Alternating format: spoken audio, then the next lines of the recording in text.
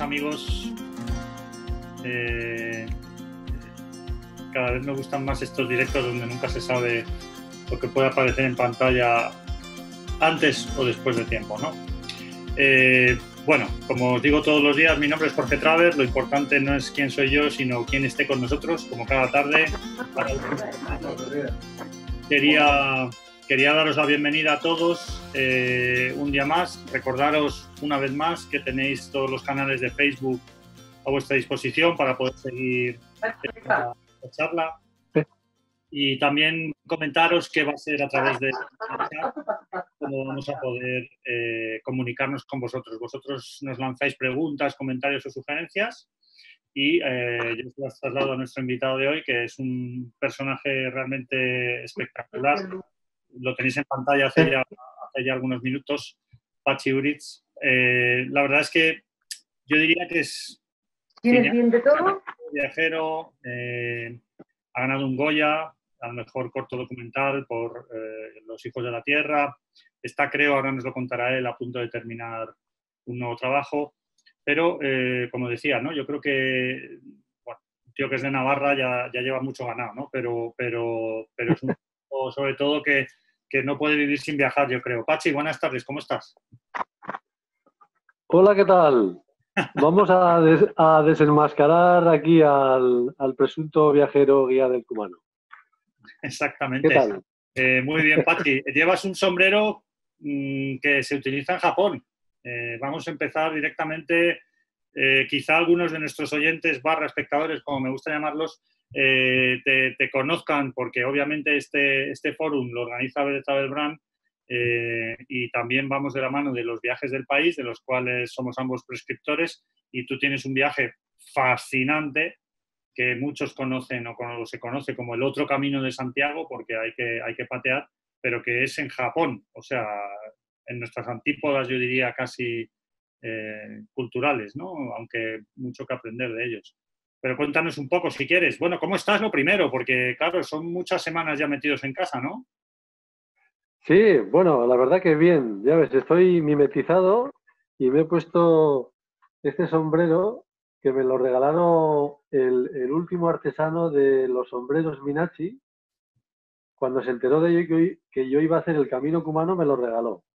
Y os voy a contar, así a modo de introducción, que está hecho con un Gorotex auténtico, porque está hecho con material de bambú y de cerezo, y entonces cuando llueve se expande y no te mojas, y cuando hace calor se contrae y transpira. O sea, imaginaros el Gorotex si se inventó hace años en Japón. ¿eh? O sea, Bueno. que lo, que lo que tienes en la cabeza es una joya, básicamente. Es una joya porque este señor de 96 años era el último artesano de una población que vivía de hacer estos sombreros Minachi y tiene un pedido como de 500 sombreros y sabe que no los va a cumplir porque algún día de estos fallecerá y hace solamente tres sombreros al día. Artesano total, como toda la cultura japonesa, que es muy artesana, que se hace todo con mucha, con mucha alma, con mucho corazón. Bueno, para mí empezar una charla hablando de Japón ya, eh, mm, vamos, me alegra, me alegra el día que diría el, admirado Clint Eastwood, ¿no? Alégrame el día. Eh, cuéntanos un poco, ¿cómo, ¿por qué llegas al Kumano Kodo? O sea, es decir, ¿qué, ¿qué, te lleva a ti allí en primer lugar? ¿Cómo lo descubres? ¿Qué... Pues mira, llego de la siguiente manera. Yo nací en Puente la Reina, en Navarra, que es unión de caminos donde se junta el camino francés con el aragonés, y durante toda mi vida he visto pasar peregrinos por la puerta de mi casa. Y bueno, pues cuando el camino no era tan famoso, pues yo veía pasar gente en carromatos, a caballo, en bicicletas de estas antiguas con la rueda grande, eh, rueda pequeña detrás, un chico que venía desde Burdeos, y yo a mi madre, que era maestra, le pregunto, ¿y esta gente tan extraña dónde va? Yo tendría 8 o 9 años. Y dice, no, van a Santiago. ¿Y dónde está eso? Pues está como a mil kilómetros de aquí. ¿Y cuánto se tarda? Pues se tarda un mes en llegar. Y yo decía, ¿un mes? Con la de cosas que se pueden hacer en un mes, vaya pérdida de tiempo. Y entonces, cuando el camino ya empezó el sacobeo y todas estas historias, pues decidí hacerlo en bicicleta, porque me parecía una pérdida de tiempo hacerlo andando. Y digo, bueno, lo hago en bicicleta, peleando contra el crono, a ver cuántos kilómetros hago y si hoy hago 100, mañana tengo que hacer 120, mañana 140. Y la verdad que, bueno, llegué como un reto deportivo, pero lo que llamo yo espiritualmente no me aportó nada. Entonces, a los años, pues una amiga me dice, oye, ¿no me acompañarás a hacer el Camino Santiago andando? Digo, ¿andando? Me lo pensé y dije, mira, yo si quieres te acompaño, pero hasta Puente, hasta mi pueblo. Luego yo ahí me quedo. Te acompaño de San Juan de Pideport y en Puente yo ahí me quedo tranquilamente porque esto de caminar. Pero bueno, algo me decía que, realmente tenía que aprovechar esta situación, ¿no? Y la verdad que llegamos a Puente la Reina y luego fuimos juntos hasta Burgos, ella cayó lesionada y luego yo seguí, yo caí lesionado en Villafranca del Bierzo y bueno, ya lo retomé al año siguiente, pero bueno, lo que vengo a decir que, que yo, ¿por qué llegué al Cumano? Porque yo estaba en una etapa de que hacía reportajes fotográficos y periodísticos, pero buscaba reportajes que me aportaran algo, algo más que viajar de por sí, ¿no?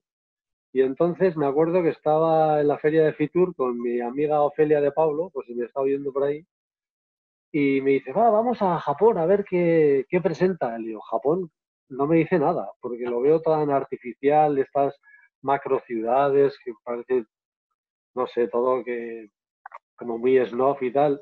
dice, va, vamos, vamos. Y la verdad que nos sentamos ahí y dice, bueno, vamos a presentar un camino de peregrinación, el Kumaro Kodo. Y anda, esto, esto me interesa. Un camino de peregrinación diferente al camino de Santiago y empieza a contar que es un camino que solamente se puede hacer caminando, por respeto al medio ambiente, por respeto al, al peregrino y prohibido en bicicleta, caballo, que se trata de venerar tres templos. Y yo digo, yo quiero ir aquí. Un silencio sepulcral. Y entonces, pues así, así nació mi periplo al Kumano ¿no? Pues hice un reportaje para la revista Traveler, de ahí salió la exposición en la que pues puesta en del Brand, Pamplona, Madrid Barcelona. Y bueno, pues ha gustado tanto que pues luego he sido uno de los, el primer viaje que organizamos el año pasado, que saludo desde aquí a los 16 viajeros que vinieron conmigo, desde Valencia, Bilbao, Barcelona, Madrid. Un especial saludo a Carlos, un gran andarín que ha superado el coronavirus. Yo creo que porque tiene un buen fondo y porque es deportista y porque aman, aman la naturaleza y, que, y eso creo que también es importante a la hora de superar estas pandemias. Oye, y todos los, los 16 lo, lo, completasteis, ¿no? Me imagino que cuando llevas a los, a los grupitos, eh, ¿las jornadas son muy largas o andáis mucho cada día? O... Bueno, la verdad que el viaje, que al ser la primera vez, eh, tampoco hicimos muchos días caminando. Hicimos tres días de unos 20 kilómetros al día. Bueno. Pero bueno, claro, hay bastante desnivel. Date cuenta que el camino, si está prohibido por hacerlo a caballo o en bicicleta, también porque hay muchos escalones que también dificulta y te hace ir más despacio. Pero, pero sí, sí, la verdad que todo el grupo muy contento, incluso decidimos al final, pues cuando haces una encuesta a todos los viajeros que les ha parecido el viaje, pues todo el mundo decía, bueno, pues nos gustaría una jornada más caminando, ¿no? Porque la verdad, adentrarte por estas sendas del camino cumano es como digo yo, adentrarte en el corazón espiritual de Japón, en el Japón rural. Yo por eso quise ir a hacer el camino cumano, ¿no? Porque yo asocio mi trabajo, pues aparte de la gastronomía y los viajes, a, los nexos que tengo con el mundo rural y a divulgar la sabiduría popular de estas gentes que, resisten en estos pueblos y, la verdad que esa fue una de las condiciones por la que me animé a hacer el, el Kumano Kodo. Sí, pues no pudo, no pudo tener más éxito, porque realmente yo creo que, eh, bueno, aparte de que el que, lo, el que viaja allí vuelve fascinado, porque me consta, eh, este año también lo tenías, ¿no? Lo que pasa es que, bueno, esta crisis nos ha impedido eh, de momento hacerlo. ¿Es así o tenías otras fechas? Sí, sí, estaba programado para mayo. Para mayo, como siempre, pero me refiero que, porque eso, si lo haces en, en, octubre, por ejemplo, cambia mucho o hay que hacerlo en mayo. La primera vez que fui con el fotoperiodista, con Rafa Pérez, fuimos en la época de a finales de octubre y bueno, en principio pintaba bien, pero bueno, hubo amenaza de ciclón, tuvimos que hacer una parte del camino en coche corriendo para fotografiar, y desalojaron bastantes pueblos Luego al final tuvimos suerte y el ciclón se desvió hacia, Kioto y no tuvimos problema, pero eh, mayo es el, mes por excelencia para hacer el camino. Pues entonces en, el año que viene habrá que, habrá que volver a, tenerlo ahí, Pachi, ¿no? Para que la gente que se ha quedado con las ganas, a mí me consta además, hay, hay eh, algunos viajeros que, ya conocen Japón incluso y que, a mí se me han acercado pues, al final de las charlas cuando siempre a veces se habla de Japón y me han dicho, oye, ¿y el viaje este de, Pachi al Kumano Kodo y tal? Digo, hombre, es una experiencia complementaria, espectacular y muy distinta al Japón que habéis visto, con lo cual yo me iría de cabeza. Y la verdad es que siempre, siempre suscita interés. ¿eh? Ahí la verdad es que habrá otros caminos de peregrinaje, eso no cabe duda en el mundo, pero que aúnen quizá una naturaleza con tradiciones milenarias, con, con, esa especie de aura que rodea todo en Japón y que lo hace tan especial, pues poquitos, si es que hay algún otro. ¿eh? No sé, Pachi, si estás de acuerdo, pero...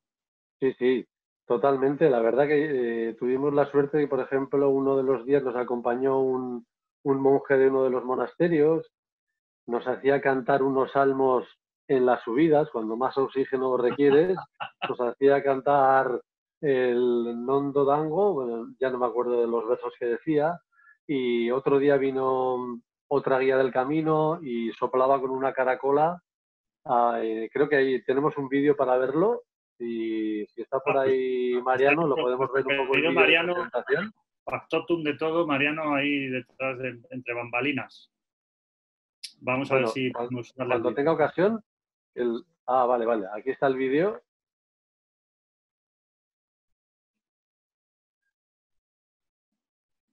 Y luego seguimos un poco con, con la charla o, claro. o, preguntas que te surjan a ti, Jorge, o, sí, algún oyente que se puede meter ahora. Nada, dura tres minutitos, pero... Vamos a verlo, vamos a verlo.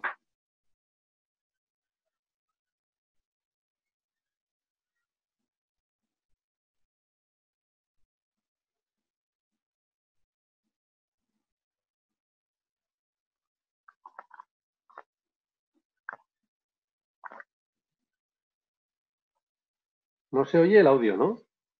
no yo no lo estoy oyendo. Ahora, ahora.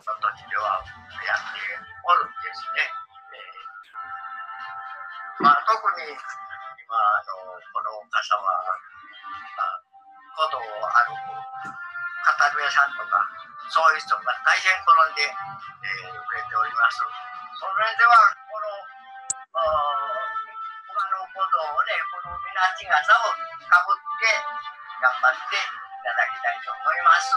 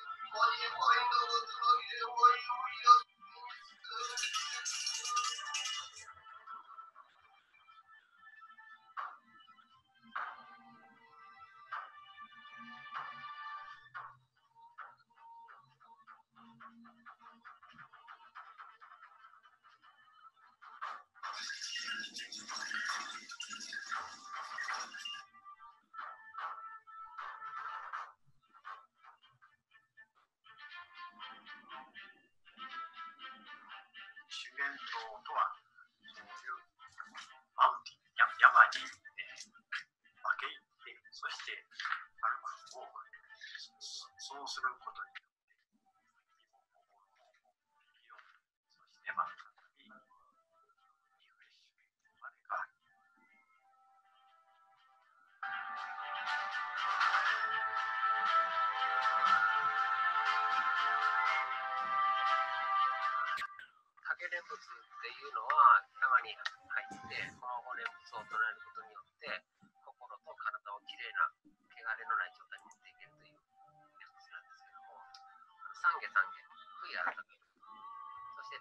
症状は人間の器官である目耳鼻舌、そして口、そして体、そして心。この6つの器官をこの山に入って、骨をそうとすることによって、汚れのない状態に持っていけるという骨を。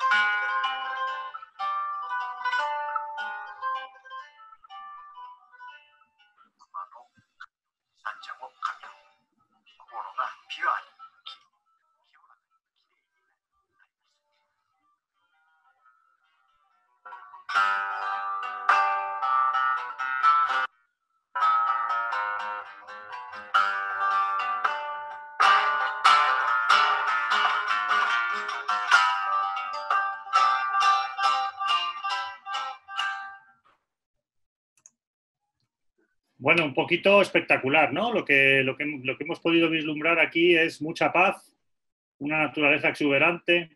No sé, Pachi, yo creo que eh, se podría considerar, o para ti ha sido uno de los viajes más bonitos o más que más te han Sí. llegado al, al- al corazón. En el, en top 5 de todos los que he hecho, por las decenas de países que he visitado, la verdad que sí. La verdad que aunque las etapas sean duras, si te gusta la gastronomía japonesa es, vamos, es una delicia y sobre todo después de cada etapa tienes tu acceso al balneario natural, al, onsen, con agua termal natural y eso, vamos, es el lujo máximo. Yo comparando los ryokan, o sea, los hotelitos rurales albergues del Camino Humano con los del Camino de Santiago, con todos los respetos, no tiene nada que ver. Ya. Y la verdad que sí, sí, sí, sí. Totalmente recomendable por gastronomía, por paz, por, no sé, los detalles que tiene la gente, los hospitaleros, son tan, tan humanos, tan cariñosos, con tanta respetuosidad que, vamos, como decía uno, hasta que no desaparezca tu sombra, te están diciendo adiós. Es que yo no sé si a ti te, te- te ocurre, pero a mí una de las cosas que más me chocan de Japón y llevo muchísimos años yendo es la educación, el civismo, la, la- casi te diría la elegancia en los modales de los, de los japoneses, pero da igual dónde estés o con quién te encuentres, es, es espectacular, ¿no? Lo, lo- lo agradables que son. Luego tendrán su carácter, como todo el mundo, sobre todo si le dan al saque, pero, pero realmente eh, a mí me, me- me- me fascina, o sea, incluso en las grandes ciudades, no, no oyes un bocinazo, eh, la gente siempre cede el paso, eh, en fin, eh, es, es impresionante. Nosotros, los occidentales, tenemos mucho, mucho que aprender de ellos en ese sentido, eh, yo creo. A mí hay, un detalle que me gusta mucho de los japoneses, ¿no? Cuando alguien te da tu tarjeta personal, o sea, te la miran así con una reverencia, te la leen de arriba abajo y dicen, ah, sí, eres tú, tal, tal, muchas gracias. Tú aquí le das una tarjeta a alguien y bueno, en cuanto desapareces ya ha ido a la basura, ¿no? Sí, la verdad es que, hombre, lo de las tarjetas, aparte, yo creo que hasta cierto punto está desapareciendo con tanto teléfono demasiado inteligente. Menos, menos mal que hay rincones del mundo donde no llega el wifi. Allí hay wifi. Allí hay wifi, bueno, la verdad que en los albergues grandes, bueno, que ya son los hoteles Sí. un poco de cadena, ahí sí, pero en los ryokan, en los pueblecitos pequeños, no, ahí no había wifi. Incluso te encuentras en algunos pueblos que lo regenta un matrimonio mayor y ahí están ahí con su diccionario español, inglés, japonés, intentando leerte las palabras. Son súper monos y toda la atención del mundo, que esté todo limpio, confortable, te preguntan y una de las cosas que yo, que también he hecho muchas cosas de gastronomía, en Japón aprendí porque los japoneses son los más longevos del mundo. Y luego dicen que los españoles son los más segundos, que los segundos, que hay una diferencia, que los japoneses no están tan medicados como los españoles, ¿no? Y ahí entra un poco en la alimentación, porque ellos comen porque sea saludable, no porque sea sabroso. O sea, yo a la mañana cuando les veía comer esta ciruela salada que es el umeboshi, que es una mezcla ácida, pues eso alcaliniza mucho el cuerpo, comen muchas algas es un falso mito de que están comiendo sushi todo el día. El sushi fue un invento para que los americanos comieran el pescado crudo. Les pusieron la bola de arroz debajo y venga. Ellos comen muchas setas, muchas verduras y comen muchos cereales. Y lo que sí que he visto que en estos pueblos del camino eh, han, proliferado un poco pues las tiendas un poco ecológicas, restaurantes de comida macrobiótica y es de gente que ha estado viviendo en estas macrociudades y han vuelto un poco a los orígenes, ¿no? Y luego hay otra cosa que entendí también en Japón, que ahora está muy de moda en España, que es en los shirin-yokus, ¿no? El baño de bosque. ¿Qué es el baño de bosque? Pues en ciudades como Osaka o Tokio, pues eh, las prefecturas, los ayuntamientos habían puesto unos recorridos por la naturaleza en la ciudad, en la que a través de unos monitores te enseñan a caminar, a respirar, a abrazar a los árboles, algo que tú lo ves desde aquí, que tenemos un fácil acceso a la naturaleza y te parece ridículo, ¿no? Bueno, pues en el camino cumano te encontrabas a mucha gente de esta que había empezado a caminar y aficionarse a la naturaleza gracias a estos baños de bosque, ¿no? Y luego algunos de ellos han hecho el camino de Santiago, ¿no? O sea, hay como, como un, un viaje que empieza en el Shirinyoku, baño de bosque de su propia ciudad, luego van al Cumano y después van a hacer el camino de Santiago, porque el Camino Santiago y el Camino Cumano son los dos únicos caminos que pertenecen a la UNESCO como patrimonio de la humanidad. Y ahora mismo, si tú vas a hacer el Cumano, la credencial que te dan para sellar por todas las, las micro ermitas que tiene donde poner tu sello, por una parte puedes poner los sellos del Camino Cumano y por el reverso todos los del Camino Santiago, ¿no? Por eso es tan importante. Y el año pasado creo que se cumplió el 20 aniversario de este hermanamiento, ¿no? Y esta exposición, pues la verdad que también ha, surgido un poco efecto para dar a conocer a la gente que peregrina el Camino de Santiago que hay otros caminos y por eso yo creo que, ha surgido efecto y por eso el año pasado tuve un grupo tan, tan numeroso. Sí, no, pero ya te digo yo, vamos, eh, como esto queda grabado, aquí lo dejo dicho, que vamos, que se te va a llenar el próximo grupo también, Pachi. Si es que es un viaje eh, y aparte que mm, lo que tú aportas también a ese viaje, pues bueno, eh, al principio cuando te he presentado, yo no sé si catalogarte como cineasta, fotógrafo, eh, un poco artista, ¿no? En el fondo, ¿no? Y eso yo creo que también seguro se refleja a la hora de, viajar, ¿no? De buscar esas luces o, no sé, ¿no? Hay, hay, hay muchas cosas que complementan la belleza del camino en sí. Sí, bueno, hago un inciso. Lo de cineasta no me gusta porque yo no he estudiado cine. Yo me, vale. me gusta más que me llamen documentalista, ¿no? Documentalista. me gusta documentar y, divulgar un poco la, sabiduría popular, ¿no? Y documentar pues a través de la fotografía y, del, y de los documentales, ¿no? Y nada, si está por ahí nuestro realizador, nuestro querido Mariano, pues podemos dar paso a ver algunas fotografías o bien de la exposición o del, o del grupo que hice con, con la gente en el viaje, viendo un poco por los sitios que pasábamos. Lo que, lo que tú quieras, Pachi, tú mandas. Pues Mariano, si te va bien, podemos ir pasando un poco porque como Jorge y yo estamos ya más que vistos, pues un poco por, como se dice en el, en, el, mundo del cine, por, por tapar estos gustos parlantes. Me ha gustado lo de documentalista, ¿eh? Me ha gustado mucho, además, yo conozco a Gerardo Olivares, que también es un tipo... Hombre, claro. Sí, sí. Y la verdad es que. Gerardo Olivares ya, es cineasta, es documentalista y cineasta. Sí, pero fue un grandísimo, pero fue un grandísimo documentalista eh, antes de, ya dedicarse a las pelis. Pero bueno, vamos con, vamos con tus fotos que son brutales. Mira, pues aquí tenemos a, mis amigos de Barcelona, a Esther y, y, a Asterio, como le llamo yo a Julio, pues son unas personas que han viajado mucho por el mundo y cuando decidieron de ir a Japón, pues dijeron, ¿cómo Japón? hay que aprovechar, conocer el Japón rural, pues a través de este camino, ¿no? Y mantengo mucha relación con ellos. Y la verdad que, es un gustazo cómo se ven los caminos, unas sendas preciosas, los bosques de cedros, pues parecen salidos de postal, los monjes limpian la, la naturaleza que está alrededor de, de estos monasterios y la verdad que, que son caminos de, de mucha paz, ¿no? ¿no? No hay ni máquinas de refrescos como puedes ver en el Camino de Santiago, sino que ahí vas pues con, con tu mochilita, es muy cómodo, aunque tengas ciertos desniveles, pero la verdad que, que es una gozada. Vamos, vamos pasando, Mariano, vamos pasando fotos.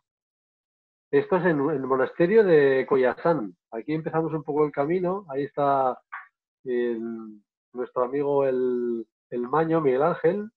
Y ahí, pues bueno, es un poco la, habitación del monasterio. ¿veis? Es un poco humilde, ¿no? Un gran futón. Y, la verdad que, que es una gozada, ¿no? Pues vas a Japón, pero entras, no tienes una habitación de un hotel occidental, sino este es un poco el alojamiento típico de los hoteles rurales, ¿no? Tú, Mariano, ves pasando y si no te digo nada, pues esto es el, el famoso templo dorado de Kioto. Aquí estamos. Sigue, sigue. Aquí estamos todos saludando, todo el grupo, en un descenso vertiginoso por el Kumano. Aquí también eh, te hacen ponerte un poco en, en el monasterio de Koyasan, pues la, la indumentaria japonesa tradicional, te pones el kimono y la verdad que te sientes más, más introducido en la cultura japonesa. ¿no? Este es el bosque de bambú de Kioto, porque aparte de visitar el Kumano, se aprovecha para visitar otras ciudades como Osaka y, y Kioto. Y luego, a partir de ahí, la gente también decide hacer por su cuenta, ¿no? Algunos amigos eh, fueron a hacer Tokio por su cuenta, pero bueno, el viaje de los 16 días, la verdad que, que da bastante. Una parte del camino se puede hacer por, en bote, que además el bote también se llama, el río, el río se llama el río Kumano. Y bueno, la particularidad que tiene el camino Kumano, que no es un pan camino con principio y fin, como puede ser el camino Santiago, que empiezas en San Juan de Pidepot, en Roncesvalles o en tu casa y acabas en Santiago en Finisterre, sino aquí se trata que en la península de Wakayama pues hay tres grandes templos y se trata de venerar estos tres grandes templos y da igual el orden en que los hagan. Entonces hay uno de los trayectos que se puede hacer en barco río abajo, que también es, pues la verdad que tiene su punto, ¿no? El monasterio de Koyasan, esto es la, la cena, pues ves todo súper bien organizado, y tu comidita preparada que si te gusta, pues desde sopa, miso, pescado, setas, una variedad de, de platitos que al que le guste la, la, cocina japonesa y que le guste caminar por la naturaleza, la verdad que es una gozada de viaje. Comida muy sana también. Sí, sí, sí, sí, sí. Y aquí estamos en el, en el monasterio de Nashitaisa, con, esto es la pagoda, esto no es el monasterio, y ahí está la cascada más alta de Japón con sus 133 metros, a la que solamente digo a los oyentes que solamente pueden tocar el agua si eres monje. Entonces estuve a punto, a punto de hacerme monje solamente para tocar ese agua sagrada. Seguro que te habrían recibido bien. Sí, sí, sí. Luego ahí tenéis los, los parques hechos con, con estilo zen. Los jardines de parques... piedra, Pachi, brutales. Sí. Los jardines de piedra son de una armonía que al, principio sí, no, no, te lo parece y cuando te quedas un rato ya mirando dices, me cachis, pero ¿cómo está? ¿Cómo sí, es te, te, incita a, a, meditar simplemente sí. viendo piedras y formas y líneas, ¿no? y eso también te aporta mucha paz, ¿no? Y a vivir ahí un poco el presente donde estás, te dice, para, para y vive el aquí y el ahora. Vive el presente. Hombre, Fusiminari, ¿no? Exactamente, Fusiminari el templo de, de, las 100 puertas, pero yo creo que hay como 2.000 puertas de estas. Sí, bueno, que... y se van añadiendo, ¿eh? O sea, que no sé si fuisteis al alba o, por la, o durante el día. Eh, yo el primer viaje fui por la mañana y en este fuimos por la tarde. Sí, bueno, vas cuando, obviamente, cuando te encaja también con tu horario de, de viajero, sí. pero la verdad es que si fuiste por la mañana, es que es, es, es tan brutal cuando no hay nadie y acaban de regar y de barrer y de repente sí. estás tú ahí medio solo, porque nunca estás del todo solo, pero eh, y es subir hasta arriba, ojito, ¿eh? A la gente. Sí, sí, tiene su, agua, ¿eh? tiene su tarea. Nosotros dimos la vuelta corta porque después no, claro. veníamos de Nara, de otra ciudad que también se visita con otro gran templo. Y bueno, pero también es, si al que le gusta Japón, es, también es una toma de contacto, ¿no? Luego puede hacer el viaje que quiera y yo creo que a través de este viaje un poco te introduces un poco en el, en el otro Japón, ¿no? Como he dicho antes, en el Japón más rural y, y- y tradicional, ¿no? Que yo realmente es donde existe alma y existe humanidad. ¿no? Sí, hombre. Esta es Kumiko, no, Toshiko. Toshiko tiene, es nuestra guía, tiene 70 años y hacía 10 que no se ponía las botas de caminar. Y andaba como una jabata la mujer. Bueno, y fue, y la verdad que es muy, es muy divertida, estaba casada con un alemán, y bueno, sabe también un poco la cultura europea y sabe un poco los gustos de, de los viajeros españoles, ¿no? Y la verdad que fue un, un descubrimiento, esta mujer súper atenta, atendía a todo el mundo, cualquier necesidad de, de maletas, de comidas, de asesorarte, con lo que fuera, estaba full time con nosotros.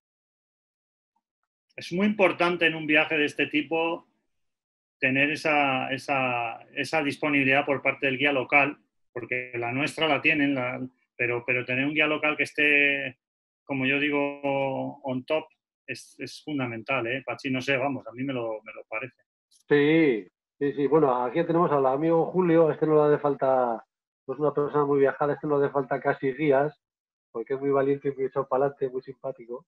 Pero lo que dice, sí, es importante tener un buen guía local. La verdad que elegirlo yo a la vuelta del viaje, cuando hablé con Martín, le dije, chapó por la guía, porque para hacer este viaje la creo necesaria y yo la citaría para todos los futuros viajes.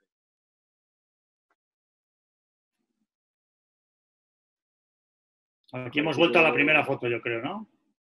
Sí, pero con otras peregrinas. Estas son unas, las amigas valencianas que es- eran super fans del camino y, y es un ejemplo ¿no? de que la gente está habituada a caminar y la verdad que cuando haces hecho el Camino Santiago, pues a la gente de mente abierta que le gusta descubrir sitios, pues hay algunos que se van a hacer el trekking de los Anapurnas y yo creo que ahí vas a ver un poco el balcón de los Himalayas, pero si te gusta también la montaña suave, unida un poco con la espiritualidad, el silencio, conocer otras culturas, otra gastronomía, yo creo que, que el viaje al Cumano, la verdad que es, es una gozada. Sí, porque ojito con, el, con la comparación del trekking de los Anapurnas, que eso ya requiere más agua, ¿eh? Sí, sí, ya lo creo. Este es otro de los monasterios que hay que pasar por este tipo de, de estandarte. Cuando entras ahí, el templo está dentro. Teníamos otro guía, el que está a la derecha del todo es Mike, que Ajá.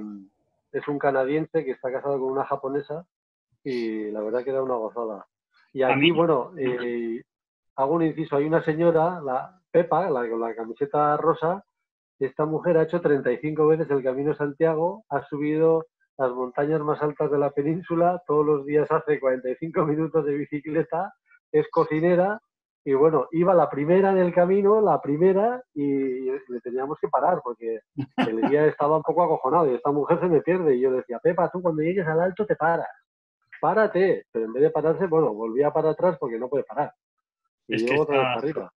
Pues qué maravilla de energía, Pepa, a ver si, a ver si viajamos Sí, juntos. sí, Te iba a con, decir, con 76 años, ¿eh? Y la bueno, verdad que yo cada vez estoy más convencido de que, el- el- a ver, obviamente la edad es la edad y todos vamos, afortunadamente, su- sumando años, pero, pero realmente el espíritu es, es fundamental. Es decir, eh, estoy yo los viajeros, no sé si estás de acuerdo, los viajeros de nuestros grupos siempre los realzo, su presencia son el corazón del proyecto y os aseguro que yo tengo compañeros de, de, colegio, de generación, que son, que son más viejunos, pero sin ninguna duda.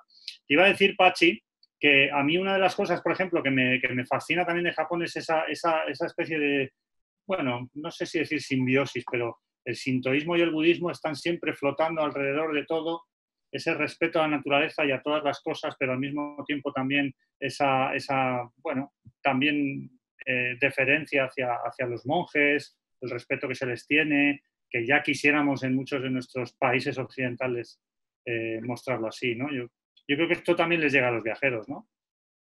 Sí, por ejemplo, el monje que sale en el vídeo cuando dice que el camino Santiago y el Cumano son una misma cosa que purifican el espíritu, este practicaba que se llama la- el sugendo, que es una mezcla entre, entre las dos religiones, ¿no? Coger lo bueno de las dos. Y este monje, por ejemplo, nos contaba que en el monasterio de Nashitaisa hay 12 deidades repartidas por el monasterio, 12 budas, y la treceava deidad era la cascada. Y, claro, la consideran sagrada, por eso está prohibida para la que no, los que no seamos monjes, no la puedes tocar, ¿no? O sea, y, y con esto quiero decir, el respeto que tienen y para ellos la naturaleza forma parte de ellos mismos, ¿no? Es, es todo uno, ¿no? Y la verdad que yo estaba mucho en falta, pues aquí, que, que la gente se pone a talar bosques, a talar árboles, sin ni siquiera pedir permiso a, a nadie, ¿no? Ni bueno, no digo al propio árbol, eso ya es hablar, vamos. Bueno, tampoco estaría mal, eh, llamadme loco, pero vamos, eh, no estaría mal tener más respeto por la naturaleza. Esto es algo que, como decía antes también de los japoneses, eh, se, se percibe desde el momento, bueno, no te voy a decir desde que te bajas del avión porque estás en un aeropuerto moderno, pero casi inmediatamente te das cuenta de que allí el respeto por la naturaleza es, es- es grandioso, incluso diría yo. No solamente en esta ruta, ¿eh? en cualquier parque, en cualquier entorno, si has ido a Nara, por ejemplo, con esos cervatillos o, o, Sí, eh, los famosos Bambis, ¿no? Que, eh, o bueno, Nikko, que está al norte de, de Tokio, en fin, hay, hay muchos lugares en los que mm, se percibe ese respeto máximo, ¿no? Y con, con qué cuidado y mimo barren cada esquinita cuando en cuanto hay una... Bueno, no hablemos de el suelo, pero... La- la- la- no hay papeleras. Digo, ¿por qué no hay papeleras? Pues porque no tiran la basura al suelo. Claro, claro, claro. No, yo me refería a las hojas, ¿eh? Barrer, me refería Sí, a las sí, sí, hojas sí. de los árboles. Sí, sí, no, no, hombre, yo, eh, mira, a dos cosas que chocan a, a la gente a veces cuando vamos a Japón es precisamente que no puedas fumar andando, que tienes que fumar en las ciudades, sobre todo en donde hay una un cenicero, y luego si a alguien se le ocurre dejar caer algo al suelo, enseguida un toquecito en el hombro alguien le dará y con una genuflexión educadísima le dirá, se le ha caído. Esto imagínate hacerlo aquí, ¿eh? sería la bomba, ojalá. Sí. Ojalá. Pues una de las cosas, ahora voy a pedir a, a Mariano que pase a ver, a pasar algunas fotos de la exposición, Venga, porque una de las, de las cosas que me llamó la atención del cumano era, eh, había visto una foto en la que iban las, las mujeres, las, las peregrinas, iban con el traje de la, de la época de Yan, eran como un velo que les llegaba hasta el suelo. Bueno, esta es de, del bosque de bambú, es una foto bastante pictórica donde los jóvenes, pues, eh, se- como digo yo, se juran promesas de amor eterno vestidos con los kimonos, ¿no? Y es muy habitual verlos paseando por ahí y ahora es una moda, ¿no? Una moda que, que los turistas y viajeros que llegan a Kioto lo que hacen es alquilarse su kimono también para, para sentirse también de una manera japonés y metido en la cultura, ¿no? Y mm, a ver si vemos alguna foto de la exposición en la que se ve, bueno, hemos visto en el vídeo, estas son, estas son las del viaje. viajeros. Igual hacia Sí. el otro lado. Bueno, no. esta es de la exposición, sí, esta es de la exposición, por lo que hemos visto la cascada. A ver si vemos alguna de, de la Bueno. guía que nos acompañó. Mira, este es un, un lunchbox, la comida que te daban para comer a mediodía. Y aquí tienes calabaza, tienes eh, verduras rellenas de arroz, eh, tienes setas y, eh, bueno, la verdad que eh, hay huevo, raya, huevo, una especie de tortillita. Y bueno, y esto es la comida que te daban al mediodía durante el viaje. Riquísima. Ahí he visto la salsita ahí también.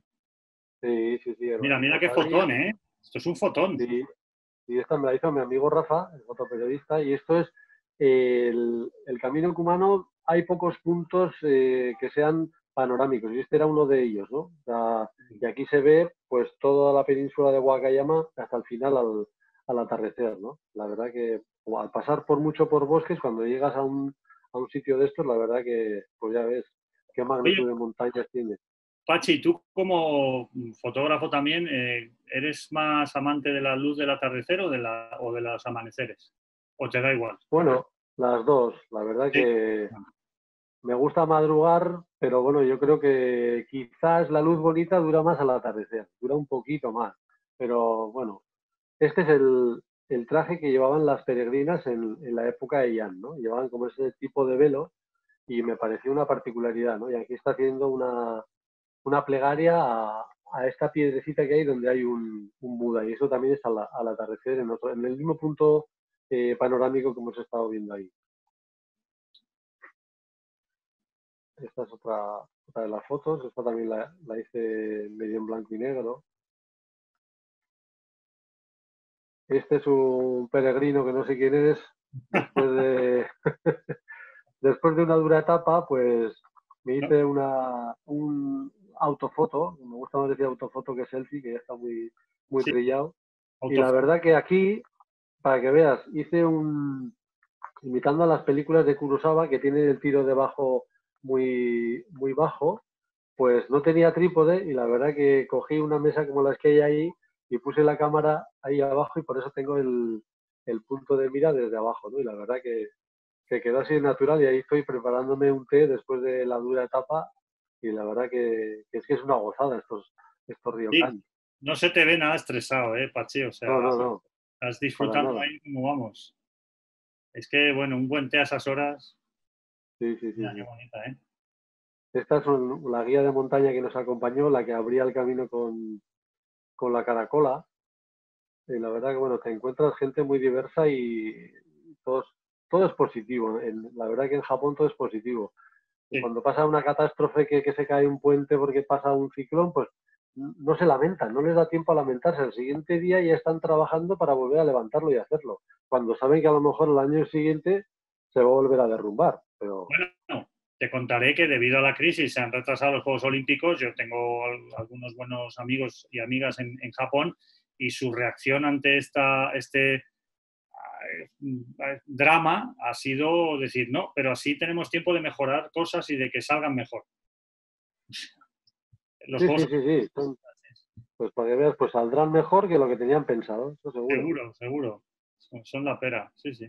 Mira, Fíjate, ves, los, los bosques de, de cedros, es que yo decía, estos sí, sí, parecen de postales, parece que los han puesto de plástico ahí, y la verdad que son, son de verdad, y los monjes, pues, pues limpian todo esto de abajo, es la maleza que van, la van cortando y la van secando, y así hace una cubierta vegetal que también, pues, aporta humedad a las raíces del árbol, y la verdad que son, son postales, es decir, de adentrarte en estos bosques, es de- ganas, ganas de estar allí, eh, Pachi, ganas de estar allí. sí, sí, sí, sí. Muchísimas. Ah, sí. Luego durante el camino pues se pueden hacer plegarias, hay bastantes budas, incluso la gente deja monedas y luego los monjes del monasterio se encargan de recoger las monedas o fruta que, que no solamente se hacen ofrenda- ofrendas monetarias, sino con objetos o con comida. Para ellos los budas son seres vivientes, no, no es un trozo de, de piedra esculpida sin más. Cierto. Este es otro de, de los monasterios. Estas puertas se llaman los toris, las puertas sagradas para entrar. Y aquí también el monasterio de Nachitaisa. Aquí se ve perfectamente cómo es el, el traje de las mujeres de la época peregrina con sus sandalias. Un jardín zen, también me, me gusta mucho pues las piedras, el árbol, combinan todo esto y el, y el colorido que tienen, ¿no? La verdad que, que es una gozada de viaje aquí atravesando campos de arroz. Es que te metes, la verdad que aquí pues, pues no se ven grandes ciudades, ¿no? Se ven todo, todo pueblecitos con, con mucha calma y la verdad que yo creo que es que sobran hasta los comentarios que podamos hacer, ¿no? Que las, las fotografías hablan por sí solas, ¿no? Y aquí estoy en un balneario, aquí está lloviendo. Bueno, el balneario que está al aire eh, fuera se llama Rotemburo. Y aquí estoy con el sombrero Minachi que he contado antes, que te lo pones porque como está lloviendo y se expande, pues la cabeza no se moja. Es así el Gorotex natural japonés. Entonces, estar lloviendo en un agua termal natural a, a 35 grados, pues la verdad que es una sensación única en el mundo, ¿no? Se te ve mal, ¿eh? Se te ve ahí estresado también. Se me ve sufrir que no veas de qué manera. Sí, sí. Pero estos son los premios que tienen las caminatas. Mira, mira, otra foto preciosa, ¿eh? Y esta es un poco el icono de la exposición y para que veáis, estos cedros son milenarios, ¿no? Y aquí te adentras en, en la escalinata, en la Daimonzaka, que tiene como casi como 300 escalones y la que te conduce, la que te conduce al, monasterio de, de ¿no?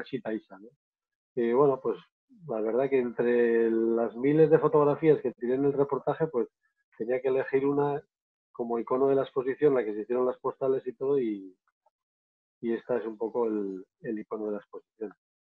Es una, es una preciosidad de foto, la verdad. Sí. Y aquí tenemos en un ryokan, para que os hagáis una idea, eh, los de la mesa de fondo son unos peregrinos australianos. El que está aquí a la derecha es el, el guía, que este no me acuerdo se llama, he perdido el nombre.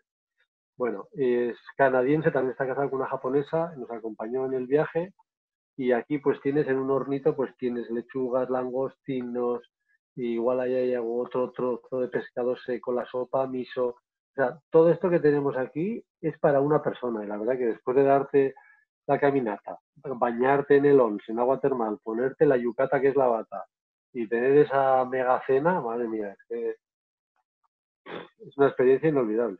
¿Qué más puedes necesitar? Yo creo que poco más. Sí, sí, poco más. Y ahí ya levitas ya. Y este es un peregrino, este es un río termal, el agua baja caliente, lo que pasa que al tener mucho caudal se enfría enseguida, ¿no? Entonces tú, cuando llegas al pueblo, en el hotel puedes pedir una pala y te haces tu badina y entonces aquí, donde está el peregrino este, pues tienes la surgencia de agua termal, burbujea y aquí no se enfría tan rápido el agua, ¿no? Entonces, que tienes el... eh, Japón, al ser una isla volcánica, tienes agua termal por todos los sitios, ¿no? Sí, Y, y la verdad que es que es- esto es una gozada.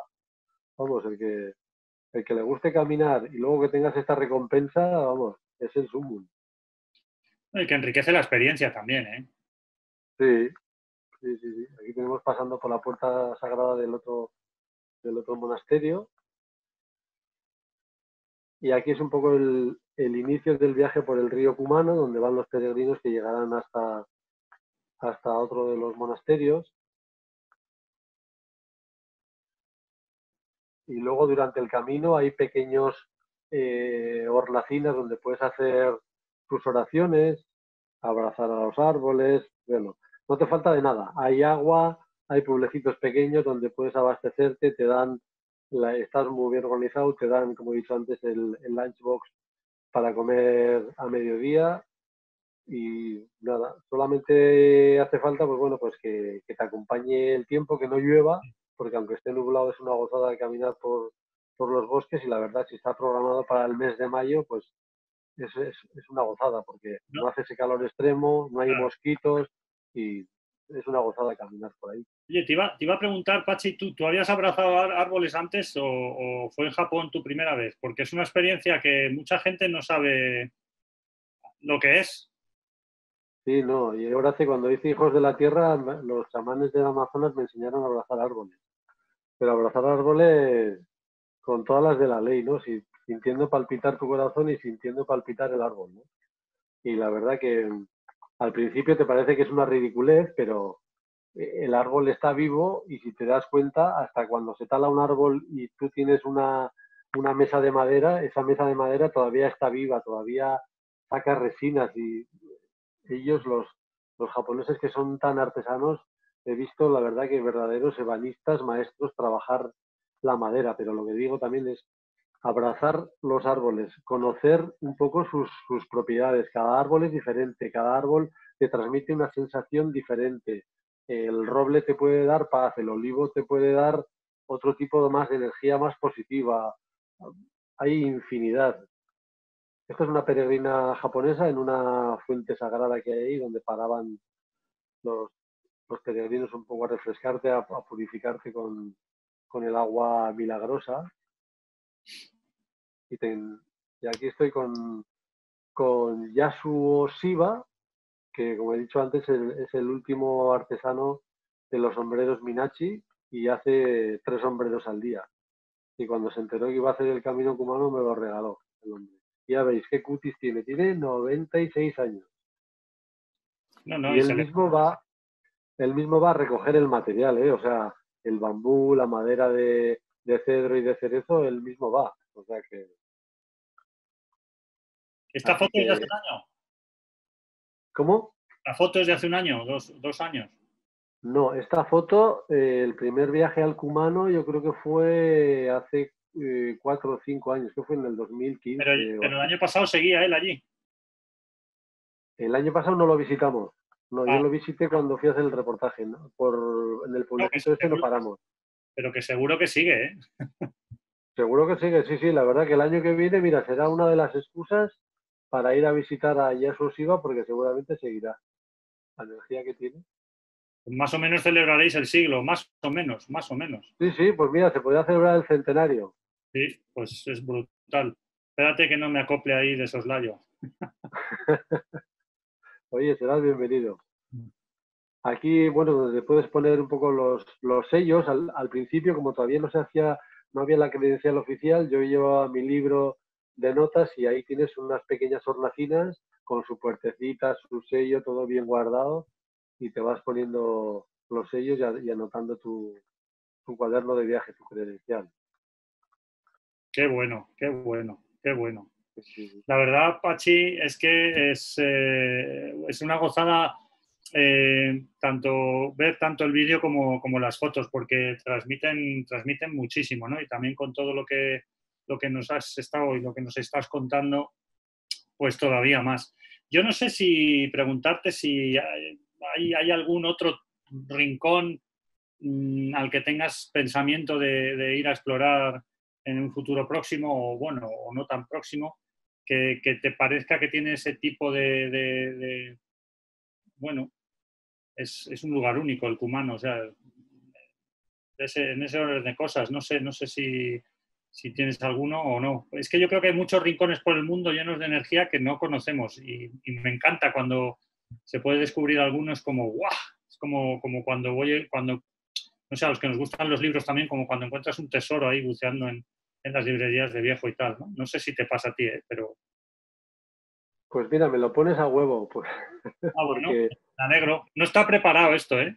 No, no, no, no, no, no. La verdad que uno de los sitios que yo antes que quería viajar y siempre al sitio más lejos hasta que no paré y llegué a la Polinesia, parecía que no había viajado, ¿no? Y luego realmente el mejor trabajo fotográfico que hice fue, lo tenía en la puerta de casa, hice el libro Navarra la Carta y a través de un menú con, diferentes platos, cada viaje, cada plato era un viaje turístico gastronómico a una comarca de Navarra, ¿no? Bueno, ese libro en Londres me dieron el premio al tercer mejor libro de viajes gastronómicos del mundo y entonces ahora estoy con mi nuevo documental eh, bueno, presento el nuevo, el de los últimos de la Mejana, el Festival de Málaga, que finalmente se va a celebrar en la última semana de agosto. Y hicimos un viaje con la Verducleta, que es una bicicleta con un huerto móvil, haciendo una road movie desde Tudela hasta el Festival de Málaga. Salimos un 22 de febrero y nos pilló esta historia de, del pánico virus, como yo le llamo. Yeah. Cuando faltaban tres días se canceló, pero pasamos por la serranía celtibérica, por la España vaciada, que a mí no me gusta llamarle este término, y ahí es donde quiero hacer inciso, ¿no? Yo creo que, que España es un gran tesoro por conocer. Y yo que he viajado mucho por el mundo, bueno, no es, es una putada, pero bueno, eh, hago inciso porque quiero plasmar y quiero dar a conocer a estos Quijotes, a, que para mí, porque cuando llegamos a La Mancha con la verducleta, nos decían, es que lo vuestro es una aventura quijotesca, que, que la verducleta es vuestro rocinante, ¿no? Vais haciendo, íbamos intercambiando semillas con los hortelanos de los pueblos, íbamos proyectando una parte del documental que iba a presentarse en Málaga y luego, como íbamos con un cocinero, hacíamos una receta con las mujeres del pueblo, una receta popular y de temporada, ¿no? Y entonces, cuando pasamos por estas zonas de Zaragoza, Teruel y Cuenca, que forman parte de esta serranía celtibérica que aglutina estas nueve provincias de la España vaciada, que es el desierto demográfico más grande de Europa. O sea, Siberia tiene tres habitantes por kilómetro cuadrado, Laponia tiene dos y la serranía celtibérica tiene un habitante por kilómetro cuadrado. Entonces, ahora que me está escuchando gente, estoy buscando a gente que vive sola en los pueblos que me cuente por qué viven ahí, ¿no? Y me he estado documentando mucho y, por ejemplo, hay un testimonio de un pastor que vive en un pueblo de Guadalajara, que es el epicentro de, de, este agujero negro demográfico, vive solo y cuando el periodista le pregunta, bueno, ¿y usted por qué vive solo? Me dice, yo no vivo solo, yo vivo conmigo mismo y en contacto con la naturaleza, ¿no? Es decir, hay gente que vive, se pone el caso de, que viven en, en, ciudades y tú estás, en la ciudad estás solo entre mucha gente, pero la verdad que, que esta gente que, que resiste contra estos molinos que no son más que los molinos burocráticos, como yo digo, pues pues quiero hacer un poco inciso y quiero ir a grabar este documental que se va a llamar De Quijotes y Semillas, lo quiero ir a grabar pues en noviembre, diciembre, cuando todavía hay el, el silencio no se escucha, sino realmente se siente, ¿no? Entonces, por eso estoy buscando a estos Quijotes. Qué maravilla, Pachi, la verdad. Mira, por desgracia se nos acaba el tiempo, siempre, pero, pero, pero bueno, yo me quedaría aquí un par de horitas más. Eh, yo quería darte las gracias por haber estado con nosotros porque es un auténtico privilegio y un placer escucharte.